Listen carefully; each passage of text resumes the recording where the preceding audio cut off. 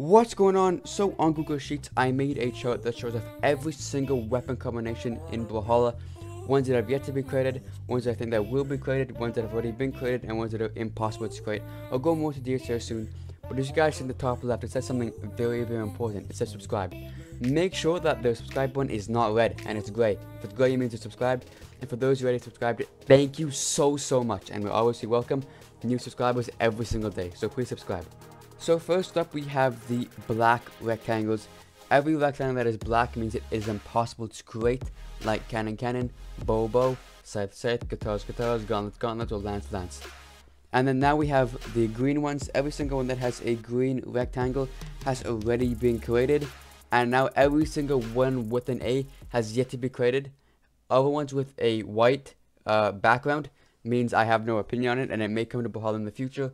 The ones that are purple I don't think will come to Brawlhalla in the future, and the ones that are yellow I think would be a really, really good addition to Brawlhalla in the future. So first up we have Katars Orb, followed by Orb and Sword, and then we have Great Sword and Lance, then Axe and Orb, then Axe and Great Sword, then Scythe and Great Sword, then Cannon and Orb.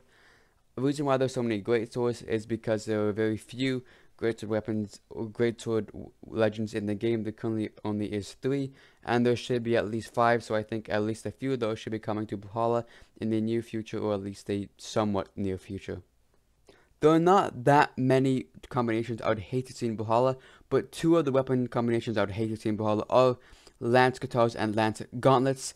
That is due to how close combat Katars and Gauntlets are, and if that was to be paired up with Lance, that would be very, very hectic. Brawlhalla has intentionally not added Katars or Gauntlets to Lance to create a legend because I think they want to avoid this close combat with Lance as it just be hectic and it would make players rage.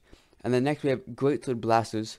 The only reason why I don't think they're going to add this is because Blasters are currently paired up with every single weapon, which is quite a bit more than, than any other weapon, and I don't think they're going to max out a weapon until they at least make the other weapons catch up.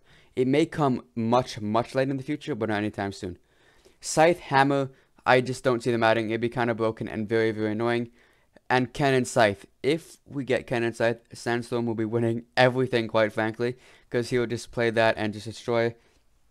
And overall, I think it would be a really, really good weapon combination. So if you enjoyed, please make sure to hit the subscribe button, and I'll talk to you guys in the next one. Peace out.